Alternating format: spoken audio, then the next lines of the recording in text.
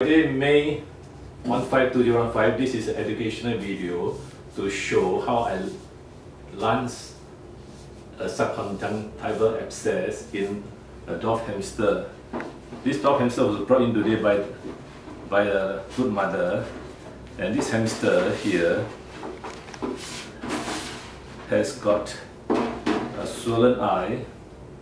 You can see the eye is swollen and uh, it's full of pus. You can see the pus. And uh, there's the left eye. The right eye, the right eye is also infected a bit. Yeah, the right eye is slightly there's there's an abscess on top of the right eye. Now I will do. I will need to anesthetize the hamster. So I will do anesthesia, isoflurane gas plus oxygen anesthetize and lance abscess.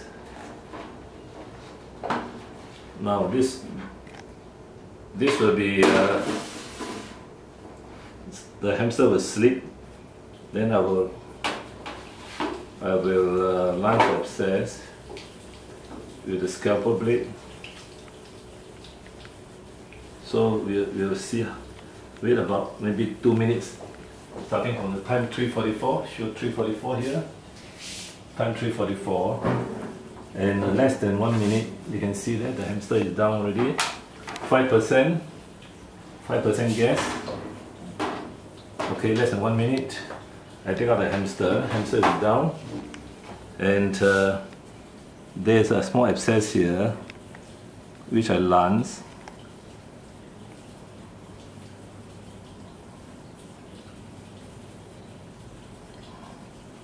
it's not ripe yet, the abscess is not ripe.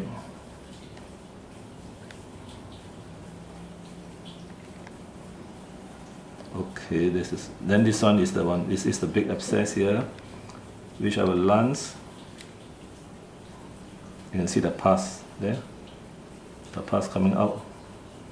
So I, I quickly clear the abscess, clear the pus, and uh, make sure there is no more abscess, make a big incision, a big incision, so that uh, now hamster is waking up.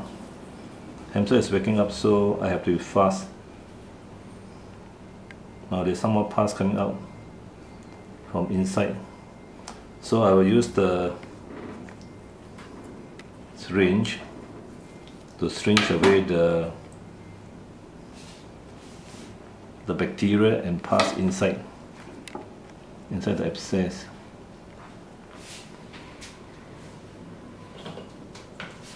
I uh, no need to, don't waste time already. Don't waste time. You see, you, you waste time already. I finish already now. What you do is you, you, you don't care about it. You just focus on on okay, finish already. You just focus on the